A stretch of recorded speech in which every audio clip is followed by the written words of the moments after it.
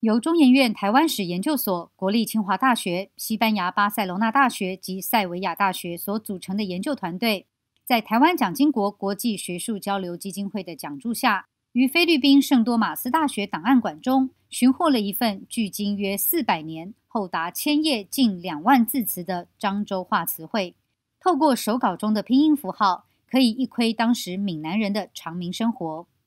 清大历史系副教授李玉忠表示。透过这两万多个词汇，其实我们就可以理解到当时呃闽南人他们平常生活上他用什么词，他怎么说话，甚至他的这个呃当时有什么风俗，甚至他们吃些什么东西，呃当时的动物或者一些昆虫怎么叫。例如台湾的毒蛇青竹丝，在手稿中写成竹细蛇。今日的喜门风一词，四百年前的闽南人就已经在使用，但当时是偏重道德的观念。现代则是做错事要来道歉，意义不太一样。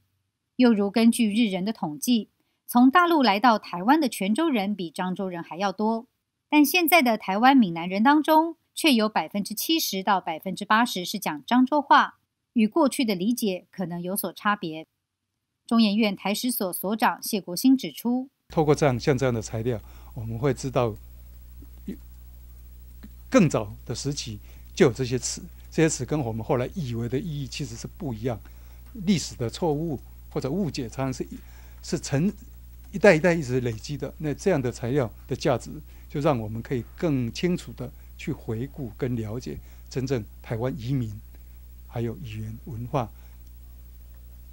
从福建到台湾这整个历程的变化。这本漳州话词汇是当时西班牙人为了前往福建传教所编纂的西班牙语和闽南语对照的书籍，堪称是本世纪明代闽南话史料最重要的发现，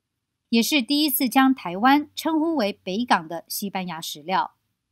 自由亚洲电台特约记者苗秋菊台北报道。